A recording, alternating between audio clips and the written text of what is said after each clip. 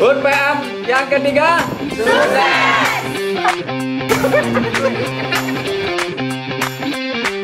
Ada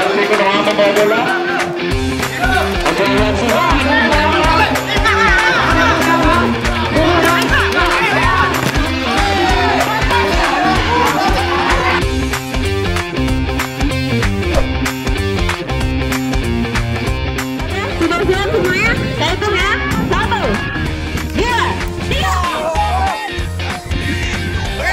Grazie a tutti.